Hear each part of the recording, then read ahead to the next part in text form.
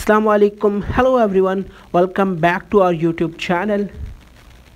Today's short video I'm going to teach you how to turn off auto enhance on iPhone in iOS 15 so without wasting any time let's get started. So guys first and basic method is turn off view full HDR for that open the settings app on your iPhone and scroll down to see photos and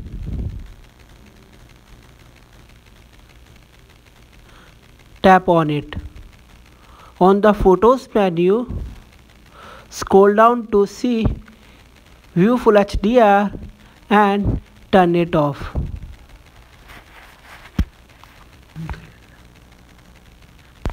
Method 2 is turn off live photo to turn off live photo on iPhone.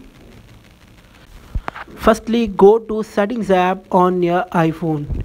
On the settings menu swipe down to see camera and tap on it. On the camera menu click on preserve settings. Here you have to turn off live photo so click on the live photo to turn it off.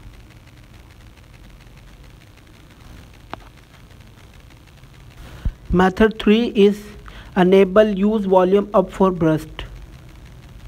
To do this launch settings app on your iphone. On the settings menu swipe down to see camera and tap on it